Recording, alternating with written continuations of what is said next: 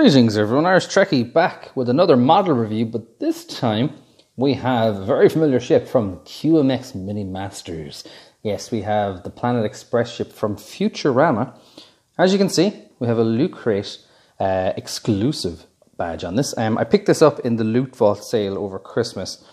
It cost ridiculously little money. Um, there was 70% off at the time. And I said, I've had my eye on this for a while and um, always wanted my own little Planet Express ship. So um, the packaging looks pretty good. Um, it looks to be decent size. I think the, the model is going to be small enough, but that's fine by me. Um, but yeah, the packaging looks really cool. Um, in line with QMX, so I have the uh, Franklin from QMX as well, so it has a very similar, um, pretty much actually identical uh, base stand which connects on magnetically as well, which is actually pretty secure as well, which is a pretty cool little feature there. But um, yeah, the box itself is pretty nice. It's kind of like pop art.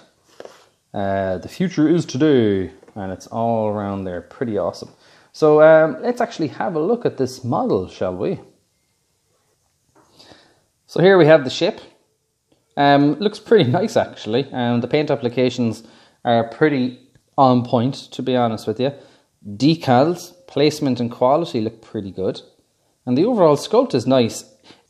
It lends itself to the animated um, style that we see in the cartoon itself. But um, all the key points are there. And I love these real retro fins, which look pretty, pretty well placed. They're thick enough so they wouldn't have really warped uh, during manufacture. And then we have the engine here with this. There's always the kind of the blue dark matter glow that comes out of the engines as well.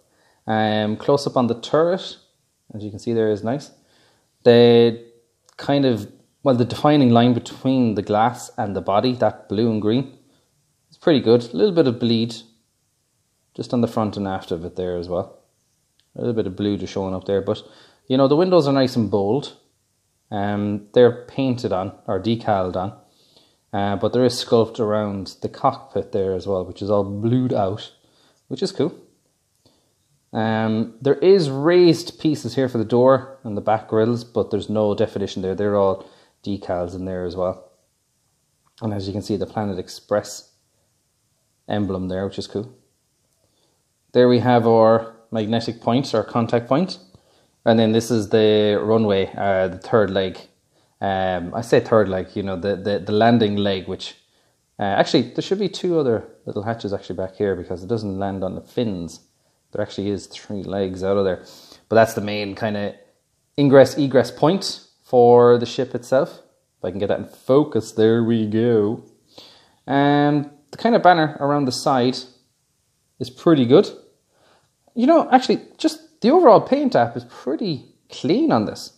Now the sculpt, though good, you know it's simple, but it lends itself to the stylings of the actual ship from the cartoon. So uh, let's see what it's like on the stand and uh, kind of wrap up this review. First look at this model. Not much to be said really about the detailing of it, but it just looks pretty nice. So there we go.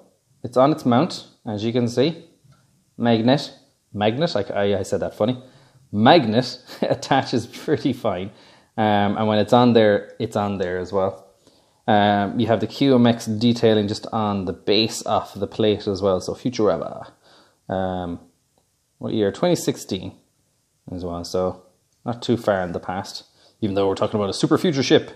But um, yeah, I actually like that. I'm very happy for the price I paid for it. I don't know what the normal uh, price of this would have been. But um, for 70% off, I was like, I'm having you. You'll be nice in the collection. So overall, I thought that was a pretty cool little ship from uh, QMX Mini Masters. Very happy with it. Um, I think it's successful on all fronts, the sculpt, the paint apps, and the decal application as well. So um, yeah, if you're a Futurama fan, I think you'd be very happy with this little ship. But um, that concludes my little uh, review of this uh, fine addition to the fleet that I have. And uh, I hope you liked it. And uh, don't forget, you can support the channel by hitting the like and even subscribe button down below. And uh, listen, have a great rest of the day and thanks for stopping by. Take it easy. Bye bye.